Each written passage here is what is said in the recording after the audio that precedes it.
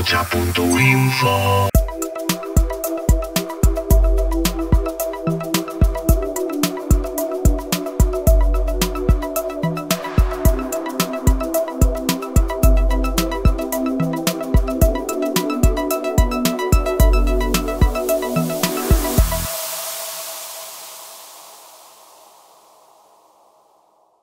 Es una manera de, de- de demostrar que estamos, eh, no estamos en contra de la situación que se está dando en este momento en, en Lesbos,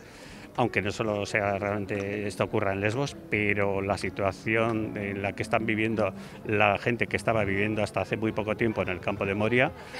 que si antes la situación era, era terrible, era, era vivir en unas condiciones inhumanas, ahora desde que ya no existe ni siquiera eso, está la gente amontonada en las carreteras, en los, en los aparcamientos, sin comida, sin nada. Entonces pienso que es un momento en que Europa tiene que dar una respuesta clara, porque realmente y como europeos yo creo que debe- deberíamos estar avergonzados de que una, una situación como esta se dé en, en un sitio que llamamos civilizado. Después del incendio de Moria,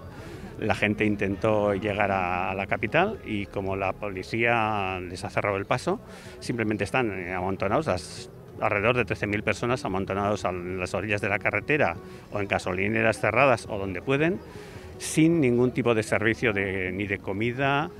ni médico, ni, ni nada. Es decir, están al aire libre, eh, con el calor que está haciendo en este momento, o con el, el- o- el posible frío que pueda hacer, con gente que, este- que realmente necesita ayuda, tanto médica como psicológica, como de todo, y sin embargo en este momento no, no reciben ningún tipo de ayuda, a no ser que sea algún tipo de mm, ONGs que que bueno, por su cuenta están haciendo lo que pueden, eh, repartiendo lo mínimo, pues comida, agua, y desde el gobierno parece ser que lo único que quieren hacer es volver a rehacer el, campo para que vuelva, a los vuelvan a tener encerrados eh, en una especie de cárceles eh, en una isla que no nos molesta a los europeos. Desde que mm, ocurrió el incendio, si normalmente habíamos llegado, nos parecía nuestro tope de comidas, que era como alrededor de unas, dos, de unas 2.000 comidas al día, se hizo un esfuerzo, vino gente de otras ONGs también a ayudar, se hizo un esfuerzo durante unos días y se consiguió eh, sobrepasar eh, las 4.000 comidas diarias, que aún y todo pues, eh, no llega ni, al mínimo necesario, pero bueno, eh, se hizo un gran esfuerzo. Y ahora ha habido un problema porque ha habido algún, positivo en el,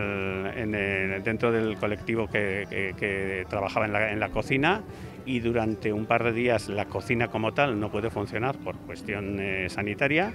pero sí que se ha dado la, la oportunidad a otras ONGs a que utilicen el material que hay en, la- el almacén para repartir eh, comida a la gente, comida, agua y lo que sea necesario. Allá por marzo hubo el ataque directo eh, que, sí que bueno, destrozaron una furgoneta y un coche, eh, fueron unos momentos de tensión. Después durante el confinamiento parecía que la cosa se había tranquilizado un poco,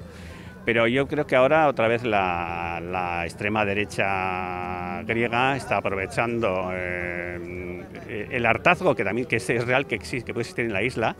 eh, para mandar un mensaje realmente racista, racista o realmente un mensaje contra el pobre, contra el necesitado. Es decir, como que el problema es el que los refugiados vengan aquí, cuando el problema lo tienen los refugiados. Los refugiados vienen, o sea, salen de su lugar de origen porque no pueden vivir allá. Recordamos y gritamos una vez más que emigrar es un derecho, no un delito.